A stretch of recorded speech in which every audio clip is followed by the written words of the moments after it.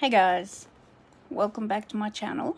Um, today I wanted to discuss uh, something that obviously I've discussed before, and that's bariatric surgery. Um, as some of you who've watched my videos know, I went for a procedure on the 8th of December 2018. It didn't, when I went to hospital, I went in believing I was going to get like a lap band or a gastric sleeve and on the table I pretty much got told we can't do either one of those because you have severe reflux so the only one we can do which is one that I should never have been able to get was the gastric bypass.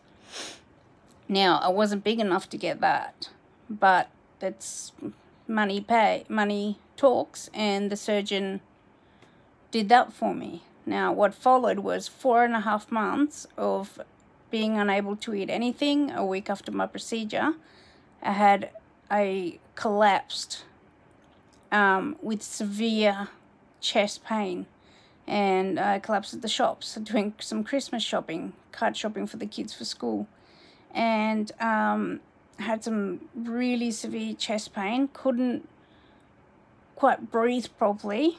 Um, got taken back to the original private hospital, which I wish I hadn't been.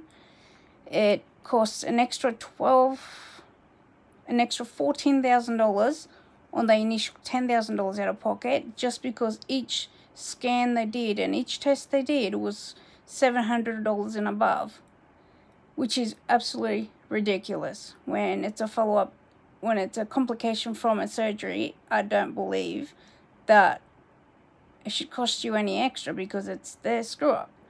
So what ended up happening was they, they found a blood clot in my lung. So I had to go on blood thinners and all this stuff. Then I started having severe stomach spasms and esophageal spasms, which the best way I can explain is as women, when you've had a baby, you know, labor pains. Well, it's like you're going into labor, like you're about to give birth from here from your chest. It is intense. And there is no medication in this world that could take that pain away. I got given um, heart medication, angina medication to spray under my tongue. That took it away for like two seconds. And they're like, oh, you can just keep having this tablet under your tongue every five minutes, um, which gets expensive. Um, so basically for the following four and a half months, I could not eat anything and I mean nothing. I tried having um, pureed fruits so I even went so far as having baby pureed food and it was just um, uh, my body couldn't handle it, couldn't tolerate it. Then it followed on with two and a half months of being unable to go to the bathroom.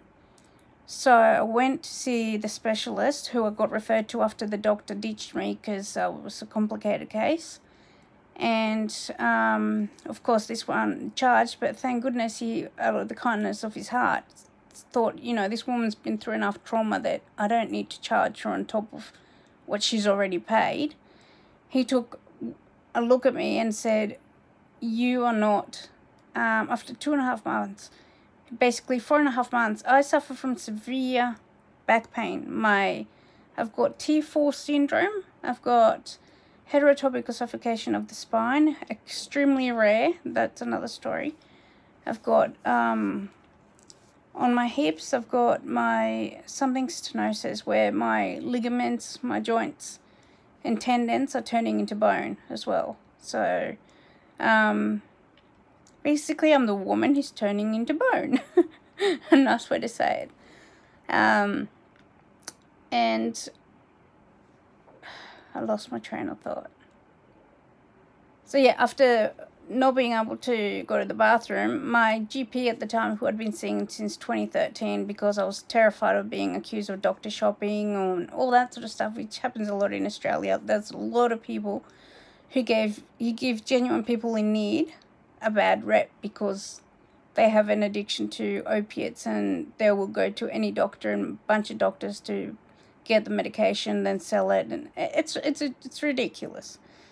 Anyway, um, I went to the doctor. He took one look at me, and said, "You are not digesting any of your medications. I'm referring you to the top gastric surgeon in Australia, which happened to be Dr. George Hopkins. He was in the episode, the um, the guy who ate himself to death from six hundred pounds plus, um, and he's my doctor, so uh, very blessed.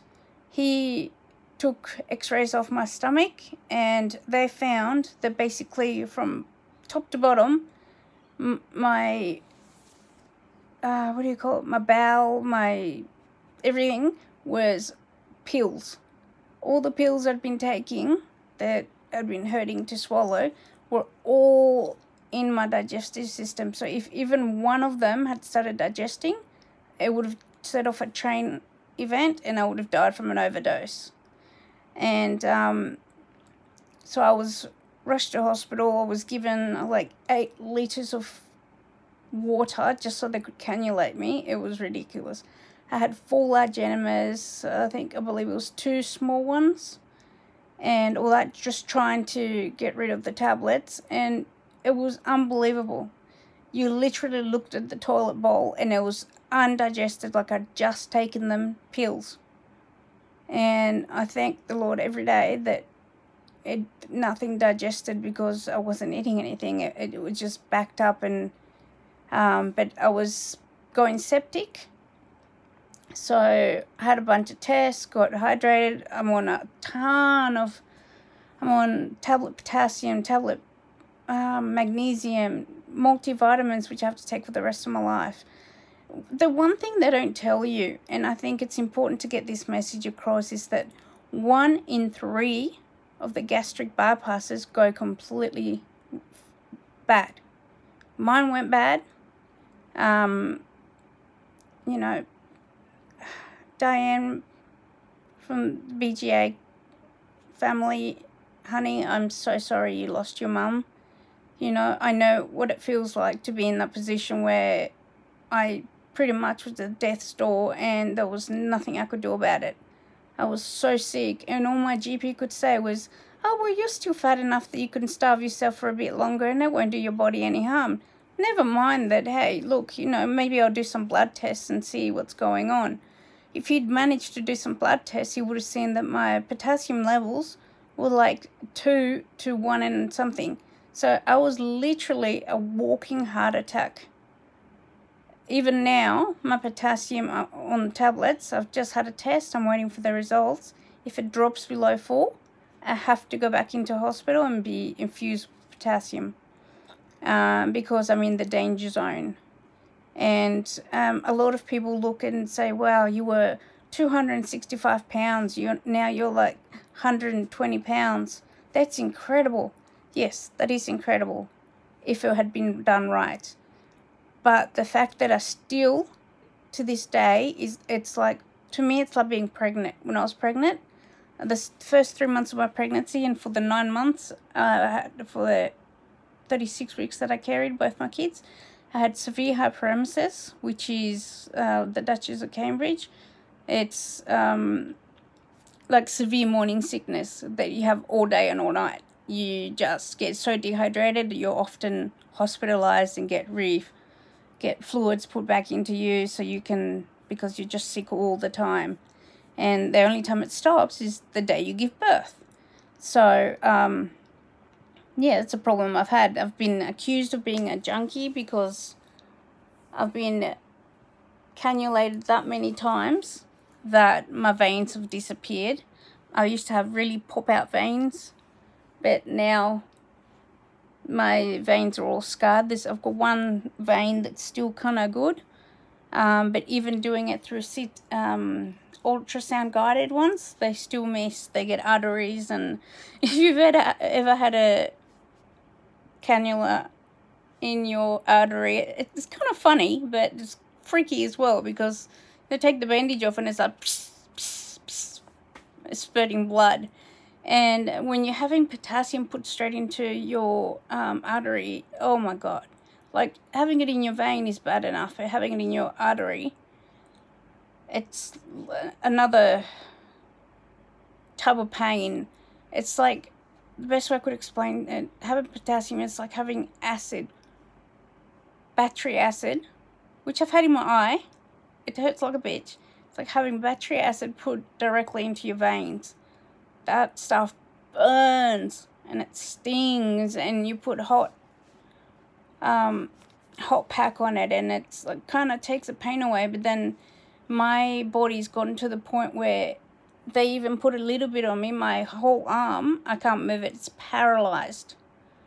Um and it can only tolerate very little so i'm on very strong 600 ml tablets and uh, it takes me an hour and a half to swallow four tablets two magnesium and two potassium. That's because um, they make me want to vomit. I still have the gag reflex. My esophagus still spasms. But for the last, uh, I'd say, when was it? Let's see, I just spent, was in hospital for a week.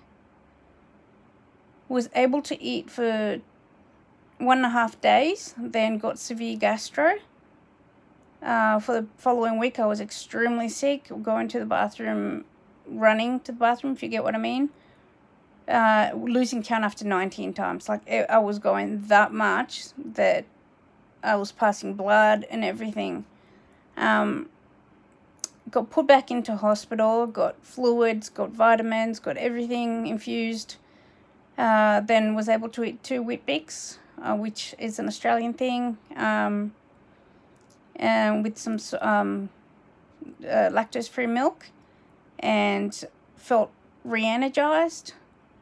Uh, came home, I've been trying to have hard-boiled eggs. I've got to out my protein because um, my body's severely lacking protein. So I've been buying, uh, I bought a Thermomix, which I've been trying to cook a pea and ham soup um, with extra hock ham hock, but cannot find hocks anywhere right now. My our butcher keeps saying it was going to be available yesterday. Then he says it's going to be available tomorrow. Gosh, God knows when it'll be available.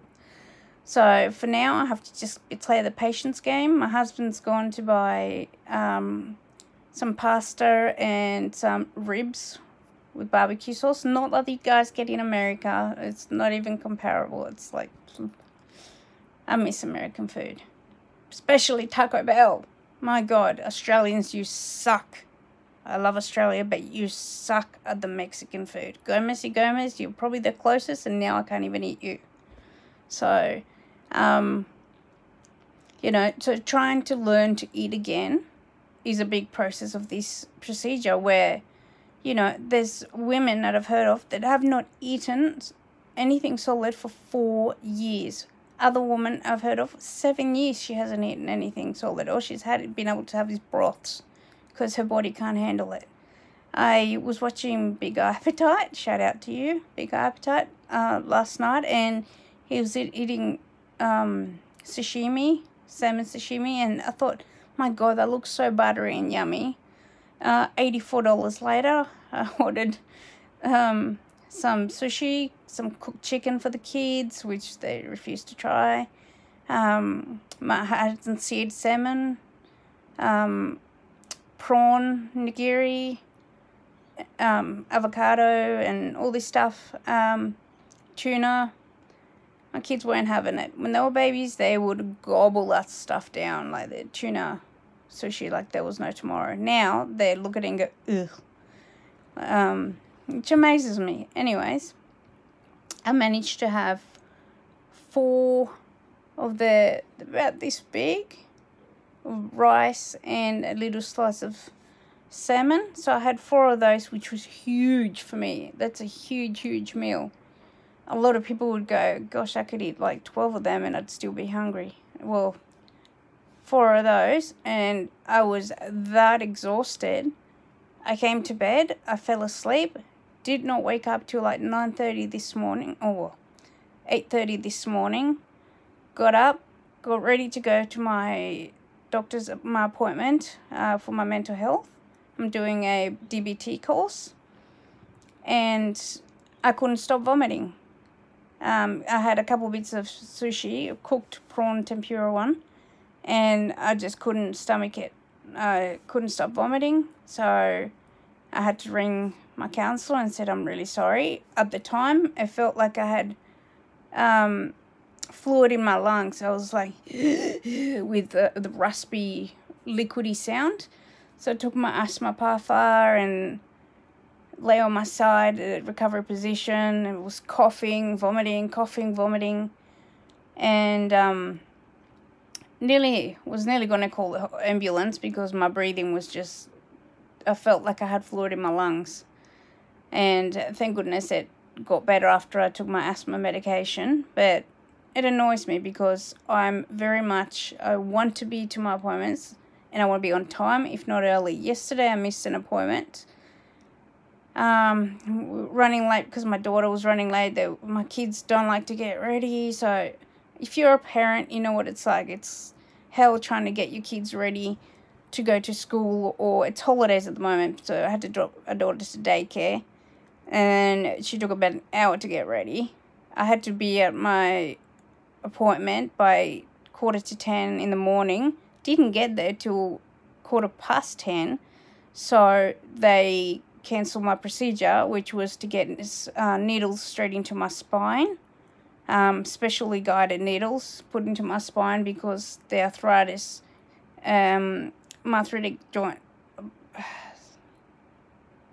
um, on my spine is really stuffed basically, and uh, I've got arthritis above where the last surgery, the my L three bones. Um, so it's all crunching up, and they need to put fluid in there to try and, I don't know, help. Um, so I can manage. Right now, what's happening is I'm losing feeling in my legs. My left leg is like a heavy weight to try and drag around when I put weight on it.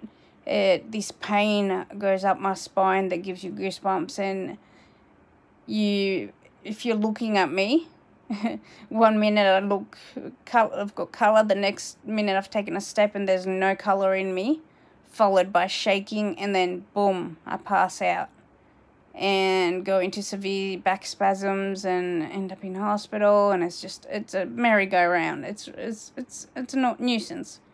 So today i've stayed in bed.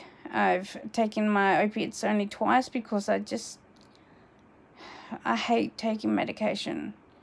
I know for a long time people were like uh, you know you're just hooked on medications. And so no it couldn't be further from the truth i refuse to allow my body to get hooked on that junk. So I will go for months without taking any medications just to prove a point to myself that I can go cold turkey and you're not going to get the best of me. Um, I'm a Latino. I, you know, you ain't going to get the best of me.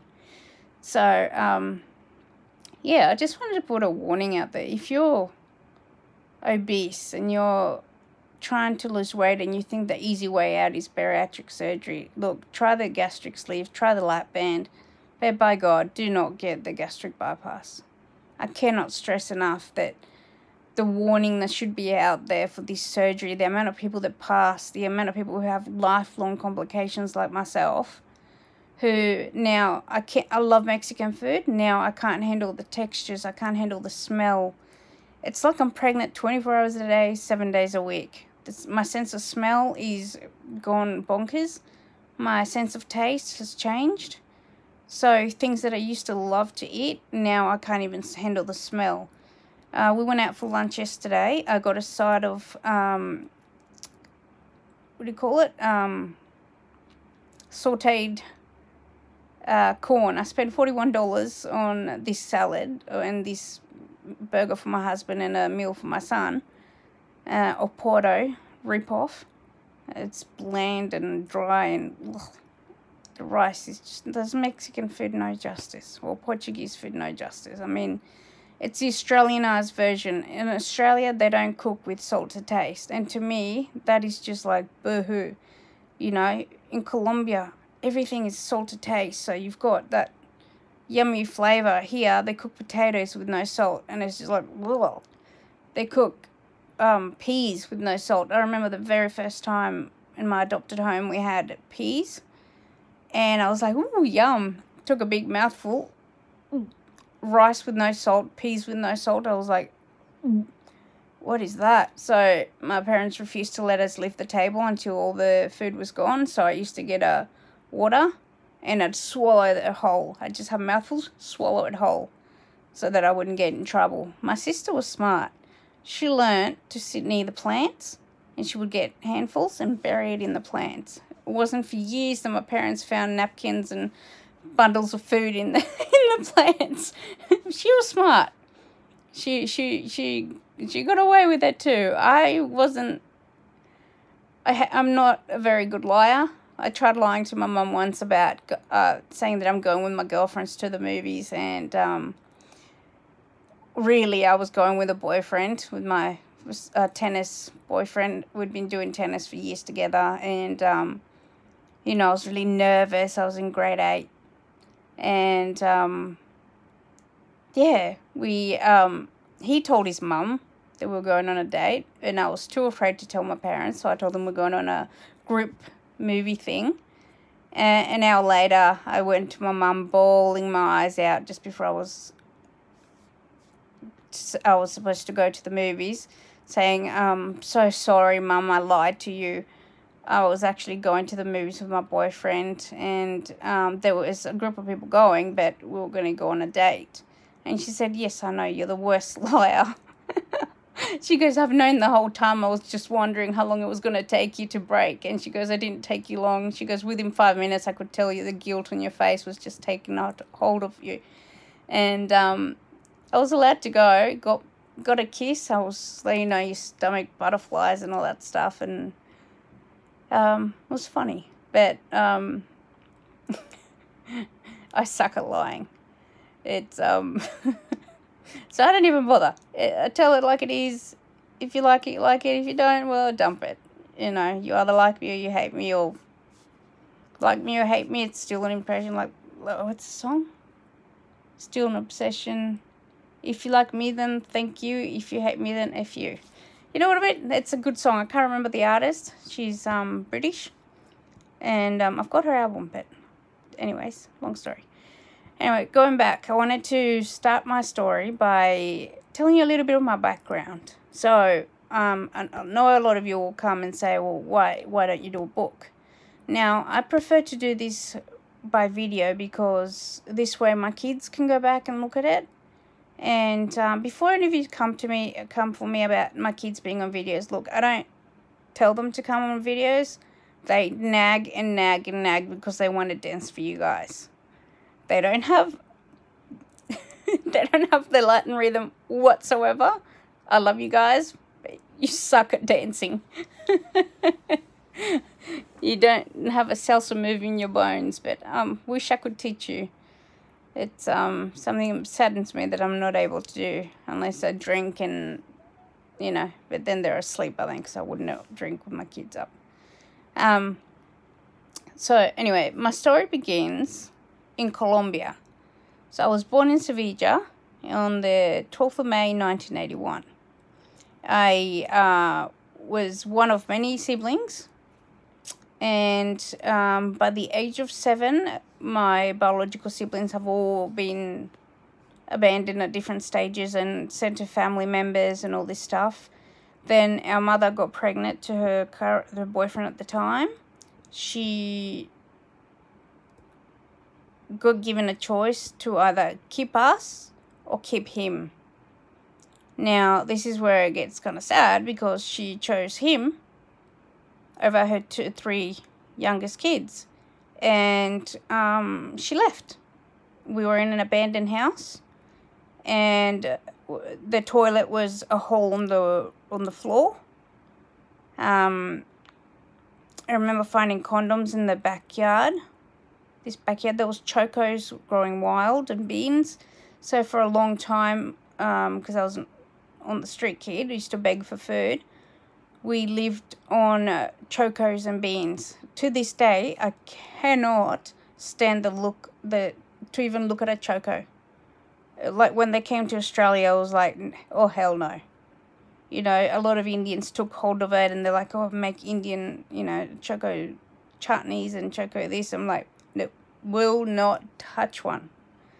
I cut my knee, you, you know, doing one, took a big chunk out of my knee. Um, anyway, so got abandoned. I don't know how, but I tracked my biological mother down. She pretty much closed the door in our face and said, go away, I don't want you. then I spent the next 12 months looking at after my brother and my sister as oh, about seven year old, looking after a four year old and a five year old um, by myself, thinking I was a grown up. I fed them, I cleaned them. You know, I, I did the best I could for that age. And after a year, somebody noticed in the neighborhood that there was this young girl looking after two younger kids by herself. Notified the government, notified the authorities. They came and got us, um, separated us, which was a big heartbreak for me because I'd never been apart from my brother and my sister. I was their mum. Spent a year in foster care and had a tamal, a empanada for the first time in my life there. To this day, I can remember the taste, the juiciness, the tenderness, the crunchiness, the pork. I've asked Mama Appetite, Mama Appetite, if she could please make one because that is a recipe that I would cherish. I would love to have a pork empanada. Um, I know I could, probably won't be able to eat it, but just to be able to smell the corn, I don't know, it's just, it's a memory that means so much to me. Um, so we spent a year in foster care. Then we went to an orphanage in Cali. We spent two years in Cali. There was about 15 families interested in us. Uh, 14 of whom backed out because I was 11 years at the time. Just turned 11 years old. And um, they didn't want an 11 year old preteen, you know, who pretty much I saw myself as a mother the kids were mine and they're all I knew. So I was a mother hen at the orphanage. I was a mother hen for my sister and my brother. I was the bossy boots. Um, uh, you know, then we got adopted by a very generous couple in Australia who unfortunately weren't prepared, weren't, not that they weren't mentally prepared, but they weren't um, well, no, they weren't mentally prepared for what was to come, you know, like I tricked the orphanage into thinking that I hadn't been raped by really, like, I did these exercises I'd heard of, I don't know why, but I was really young, I was pretty smart for survival instinct. I knew that if they'd realised that I'd been raped, that I would be separated from my brother and my sister, and I'd be sent to a nunnery until I was 18, and then I'd be on my own. Now, I was smart enough that I would, like, tightened myself up so much that they couldn't um, properly investigate. Therefore, they said, oh no, she's a virgin, she's never been touched, there's no way, she's too tight. So I was able to be adopted. So I got adopted into Australia. It wasn't until the I was savagely raped at the age of five and I was watched my dad get murdered at the age of I believe it was four or five. It wasn't far apart between those two, but I remember being tied to a bed, gagged, blindfolded, and it was like this single bed, and it was very hard and it was very cold. And I don't remember having a mattress. It was um because we didn't have furniture like that. We had a bed that the mattress was straw and it had a big hole in the middle from all the kids peeing on it. And um yeah, anyway that was my start of life was begging on the streets for food. The way I fed my brother and my sister was by begging for food and people would throw meatballs or things like that on the floor and I would take it and feed my brother and my sister and if there was anything left I would eat. So when we got to the orphanage, um, we started getting regular meals and I started to hoard food because you, I wouldn't, I didn't, mentality was like, I don't know if I'm going to get fed again. So you have that fear. You'd go and you'd steal. So I would go on my way to church. I would climb trees and steal green mangoes from trees and um, guavas and stuff like that, and then take them back to the orphanage and hide them and and eat them. And um, yeah, there's been part of my life is hoarding food. Um, I'm getting a lot better at it. I'm get, doing a lot of counseling for trauma. I've seen numerous people get murdered in Colombia. I've been a victim of child abuse, sexual abuse, mental abuse, you name it. Been there, done that. Lived through it. Here to tell the tale. Um, you know, then came to Australia when I was between the age of 14 to 15. I was raped again by my English tutor, English and math tutor. He was an elderly gentleman um, who was a black belt at martial arts. I remember one day I told him, oh, you know, uh, I've got my period, uh, my menstruation. And he said, no, you don't. Um, knocked me down. I was on my back. He had his foot on my chest and said, don't you ever effing lie to me again. Then pointed to the fridge. He had a calendar there and had my period marked when it was due when I got my period. Um, yeah, we were supposed to go to court and got delayed, got delayed, got postponed. Eventually, he ended up passing away from a heart attack. To this day, I don't feel like I got justice. I got dirty money because the government gave me a victim's compensation, but I spent it really quick because to me it was dirty money. I didn't want that crap. Um, you know, it's um something that still I feel guilty to this day because I feel like I should have known better. I'd gone through it before. I'd, I opened up to him and he'd used lollies and money and all this stuff to bribe me and I just felt stupid because I fell for it. And it wasn't until my sister was walking funny one day that I went to school, boarding school, and I absolutely lost it. I went to watch her play a basketball game and I could see, I just knew he'd been touching her. And a deal I had with him was you do whatever you want to me, but you never touch my sister. Never. He swore he'd never touch my sister, and he did. So I was acting out at school. I was getting punching a lot of girls because I went to an all girls school, getting into fights, and just losing my shit basically. And I finally opened up to my Eng my drama and English teacher, and just told her what had been happening. Um, the next day, I woke up. I got called up to the principal's office. I was extremely scared. Got there, there was my mum, my adopted mum, my and my dad, my mum and dad. There was two police women. One was in uniform, one was not. There was the principal, and there was my English teacher. Nobody said anything except the policewoman said, You need to come with us.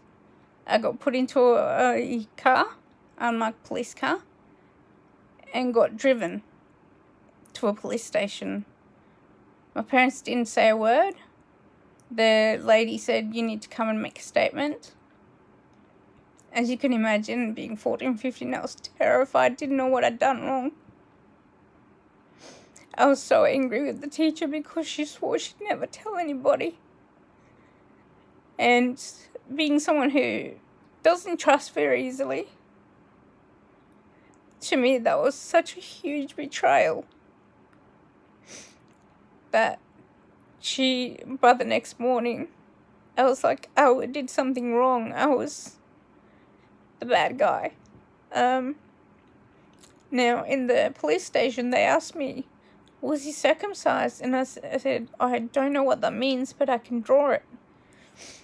And I, am very, I was very good at drawing. I think I still am. Um, I drew his penis.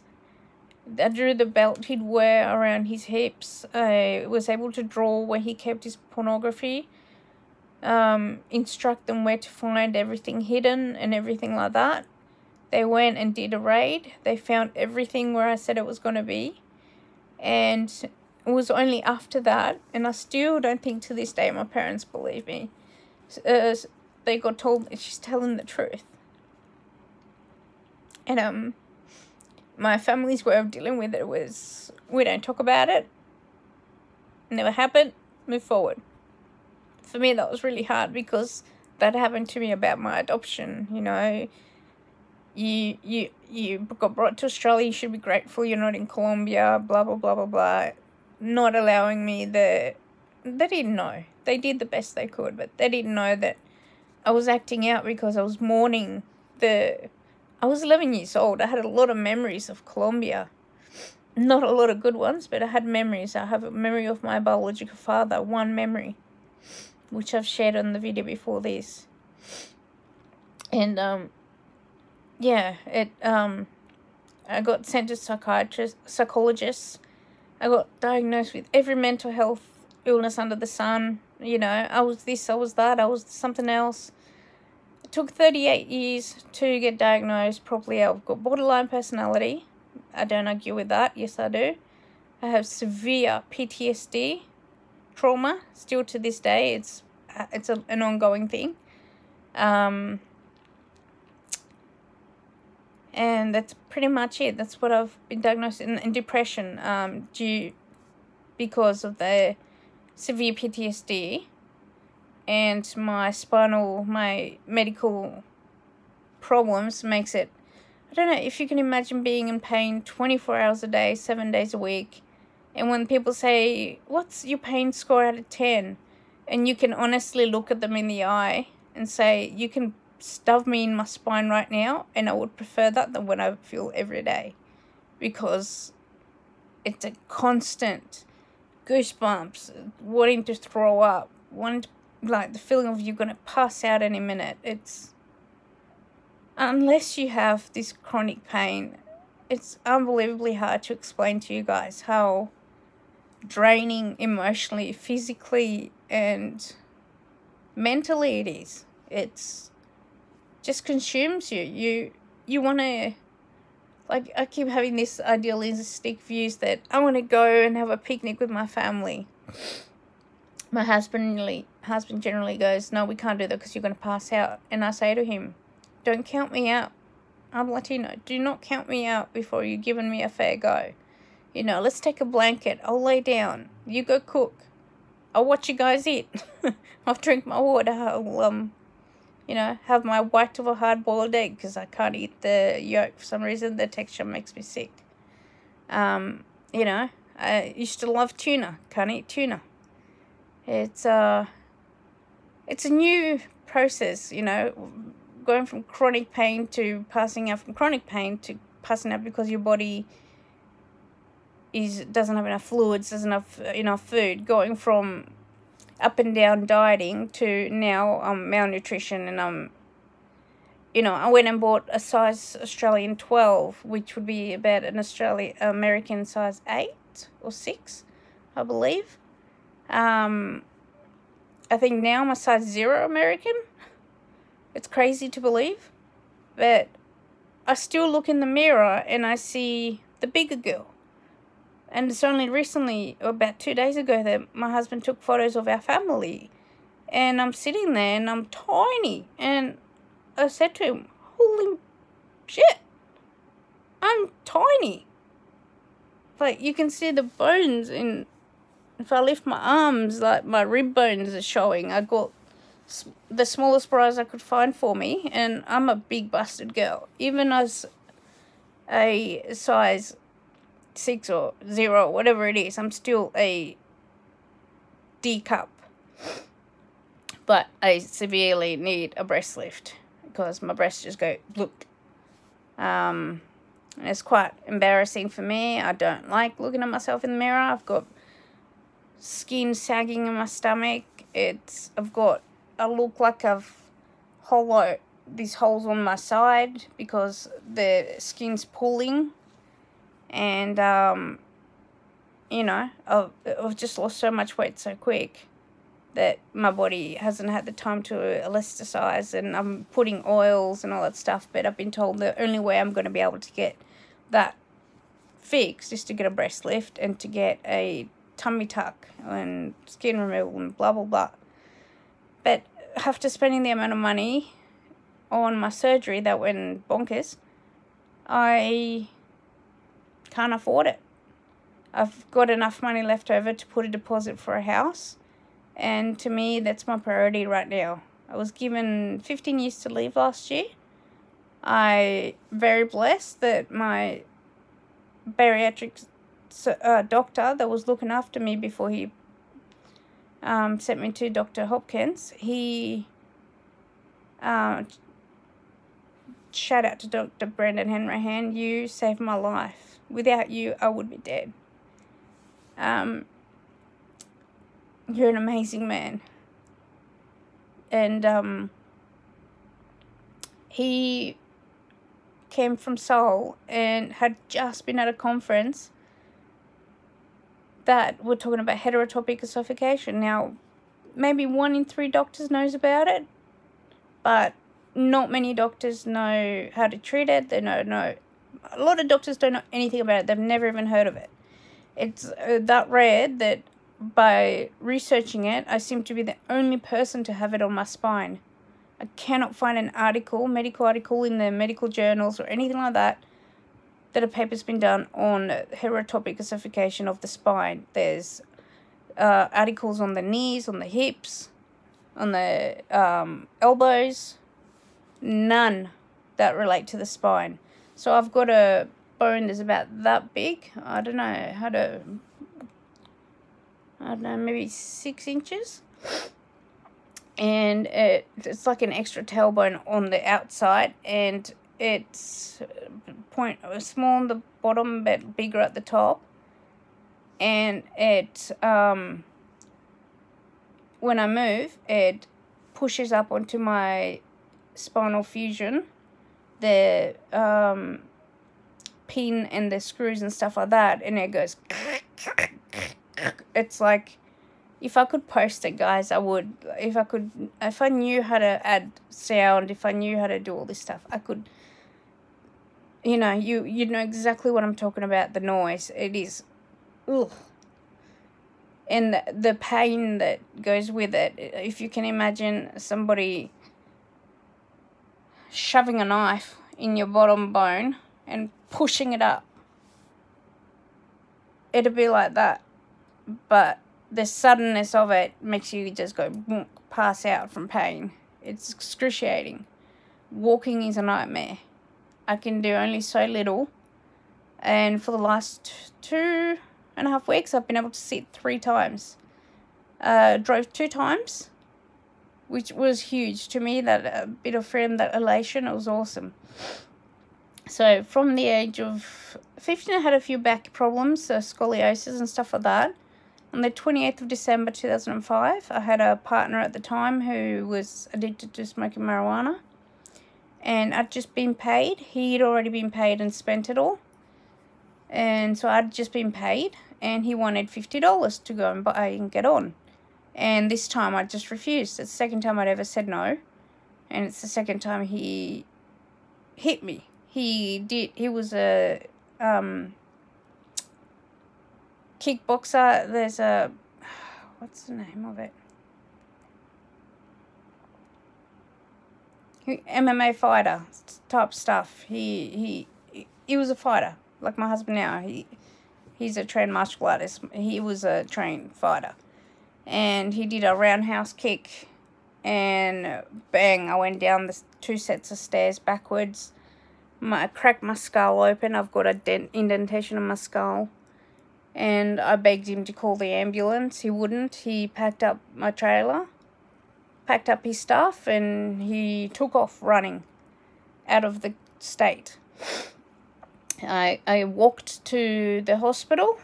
I had towels amongst towels among towels covered, dripping in blood all over me from my head injury. And um, then about six weeks after the incident, um, my, my dad flew over with my brother. I was skin and bones.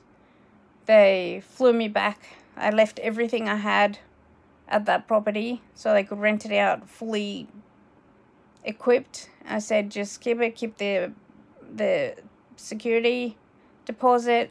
You know, this is what's happened. I gotta go. Um, so I pretty much had to start from scratch. Uh, thank you, my dad, for coming to rescue me. That was the last day of that relationship, and I never went back to him ever. And um, but because of it, I'd already been having a sciatic problems. But after that, I had six bulging discs and uh, um, uh, bulging discs and herniated disc and all this stuff and I managed to go back to work and then I got injured again, couldn't work. Then managed to get myself physio and meds and managed to go back to work. I worked up until uh, this uh, no 5th of November 2011 when I fell off a ladder in August um, and I landed on my heels and the pain that shot up my spine the crunch was unbelievable. I within 6 to 12 months I had to get a surgery. It didn't go as planned um, so I got re-injured that December it was done on the April, 26th of April 2012. In December of that year, a young kid next door to my sister, a neighbour, he wanted to show off that he could lift a bigger girl and um, bear hugged me from behind, squeezed me and lifted me up and my spine was done. It was gone. So I spent time in hospital. Um, but it wasn't up until it was getting worse and worse and worse. But it wasn't up until another kid knocked me at a play center that all my nerves just bunched up and I was incontinent, couldn't use my legs, paralyzed from the waist down, couldn't do anything, and got a scan. And the my private physician said you need emergency surgery sent me to a hospital. They said, oh no, you know, you can put up with it for a bit longer. Exactly a week later, I went to another hospital because I already knew that this hospital weren't interested. Went to another hospital and said, like, I need help. I can't feel my legs. I can't control my bowels. I can't feel anything. And I spent a week there. Still nothing had happened then I ended up ringing Greenslopes Private Hospital and saying, look, I'm at this hospital next to you. Um, they're not doing anything. I'm not hearing anything. I need help. This is the results of my scan. This is what my doctor sent. He rang the head surgeon straight away.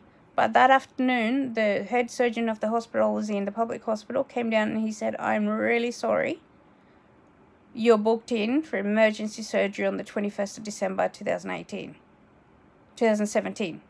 So I got that procedure done. Unbeknownst to anybody, no one was expecting it to go wrong. It could have been the fact that the doctor who did it was the one who said he wasn't going to do it and he got made to do it. I went down to the theatre. He refused to make eye contact with me and I thought, oh, this is not going to be good. I had the surgery never saw him again. Um, the team came up, said, you know, went well. I was able to sit, I was able to stand, and I was just like, oh my gosh, it's worked. Yay.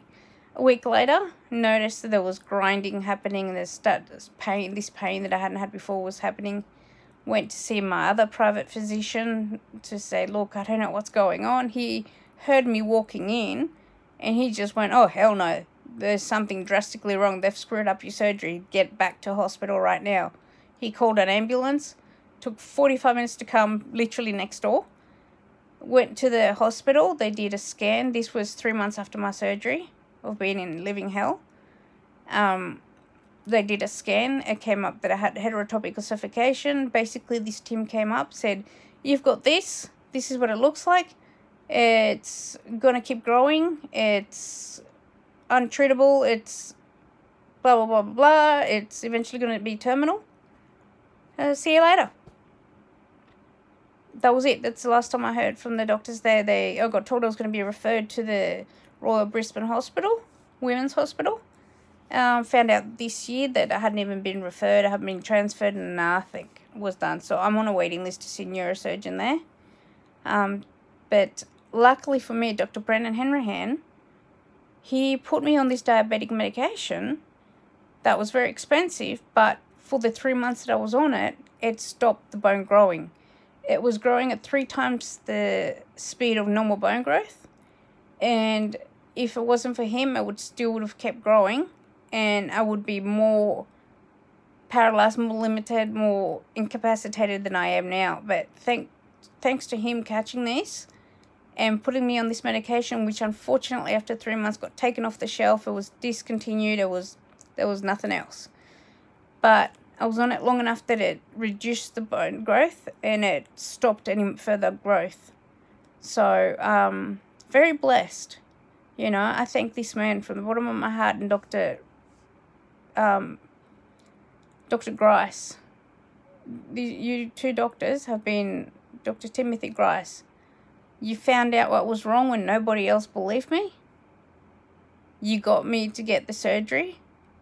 You got me taken seriously. Dr. Hanrahan, you're my savior. Without you, I would literally be dead. Many times over because nobody cared. My GP didn't care. All he saw was I was getting losing weight and yay.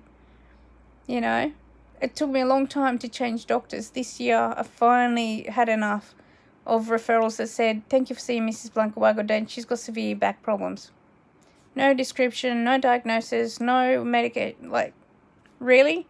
No wonder I kept getting knocked back from all my referrals.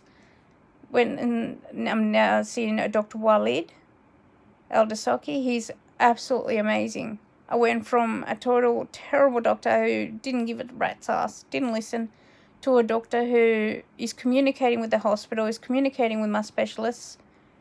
Everything's, everyone's on board. Tell you what, it's tears of joy that I finally Thank you, Lord, for finding this man for me because he loves my kids. My kids go in, they act absolutely crazy. He gives them a lollipop. Thank you for giving them a bigger sugar rush. But um, they love him. They trust him. They let him put needles in them, which is pretty big considering my kids are, yeah. Um, they've seen me get needles many times, but when it comes to them, they're like, hell no. Um, you know, I finally have a good team that are taking care of me. They understand that I'm a complicated case. If there's a rare condition that's someone's going to get for some weird reason, my ass gets it. If there's a complication that one in a billion can, can happen to, my body goes, yep, I'll be that person. Let me have a go. you know, um, and there's two ways you can do you can look at it, guys. It's either you can roll with it, learn from it, learn to deal with it, or you can cry and go doom and gloom and be depressed. I've been both. I've been suicidal. I've attempted many times. and nearly passed no more than a month and a half ago from taking a large dose of tramadol liquid and uh, morphine sulfate liquid that I have. I felt so selfish and so horrible. They had to keep stimulating my heart all night. They had to keep me awake. They had to keep doing all this stuff because my heart kept wanting to stop. And um, I remember them laughing, and I wasn't sure whether I was hallucinating or what, but I remember them laughing, saying, What an idiot. You know, why would you even bother? Blah, blah, blah. And this is at the hospital. You know, the hospital I hate the most. They're there laughing at, at you know, someone who's like on the verge. Um, you know, one minute I was so relaxed and I was so calm because I was accepting my faith. My, my you know, what was meant to be would be. And the next minute I'd hear people laughing at me and commenting about how it was stupid, you know, someone with two kids, how could be so selfish. And I think it was at that time that I realized just how much I wanted to leave. And it's the one time that I've just actually just turned around and gone, screw the negativity. You know, no matter how much I get put down by my husband sometimes, no matter how much he tries to, I'm not going to allow that to happen anymore. I'm going to stand up for myself. I'm not going to allow myself to get over angry and all that sort of stuff I want to try and become. I'm doing this course that's helping me deal with my emotions. I'm reading books dealing with my adoption feelings of wanting to go visit my family but being unable to because of stipulations being put forth by my adopted mother. I, I know she doesn't mean any nastiness by it, but it's causing a lot of turmoil within me because it's got nothing to do with her. She can never be replaced. To me, she's my mummy Like when I have a bad day, I want to call my mum. I can't because I signed a contract that I wouldn't give him any drama or uh, cause him any heartache. So I can't, literally can't go to my parents when I'm having a bad day or I'm crying and I'm need my mum. I can't just ring her and just go, you know, I miss you. I want someone that I have to deal with that that rejection, I guess, that feeling.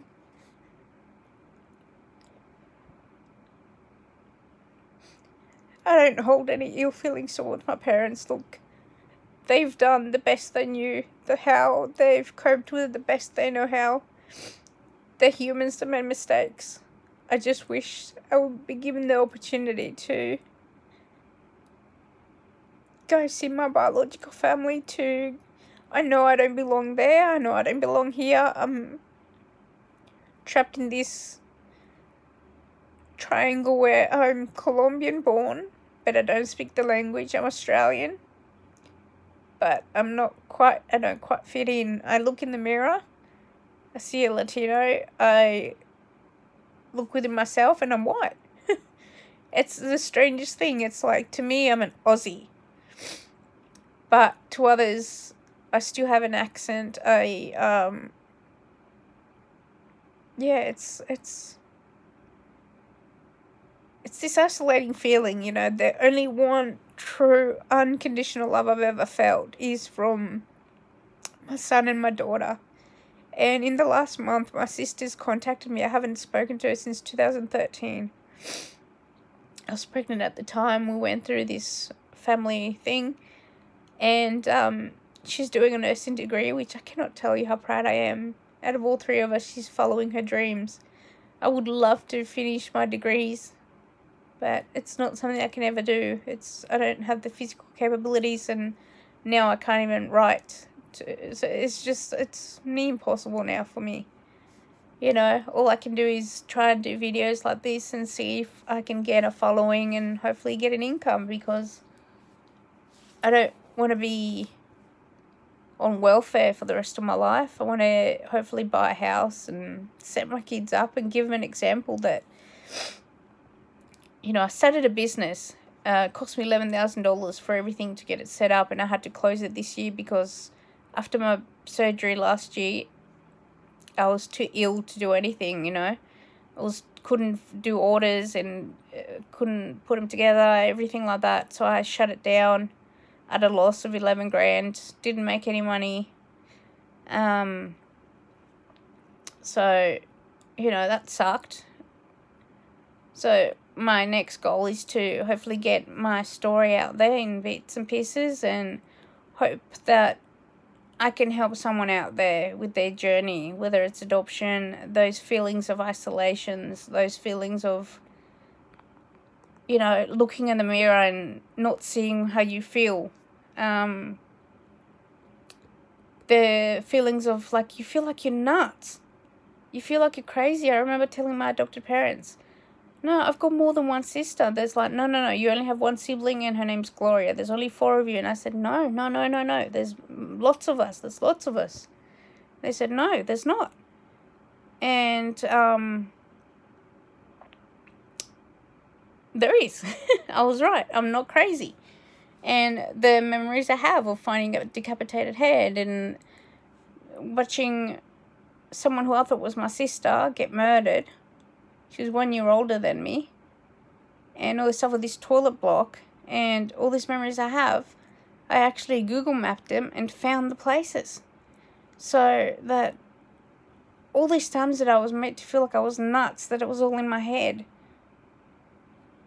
I can actually show on a map and say, this is where this happened, this is where I found that, this is where this happened, this is where I got dumped and thrown into the ocean, into the river that was full of garbage because I wasn't wanted. I was put in a potato sack and my mother literally threw me away. Um, you know, all those memories that I have are real. They really did happen. I'm not nuts. And um, that, just that validation alone, looking at those things and finding them, takes a big weight off your shoulders because everyone's like, You don't know what you're talking about, blah, blah, blah. You were too young to understand. You don't know what you're talking about. Um, but they did happen. And, you know, the things where it happened are there. And it's, um, yeah, I've been in contact with my biological mom. Uh, I prefer to keep in touch with my biological sister, the one who I thought was murdered in front of me, who, thanks, mum, uh, is Lenny, sorry, you know my mum.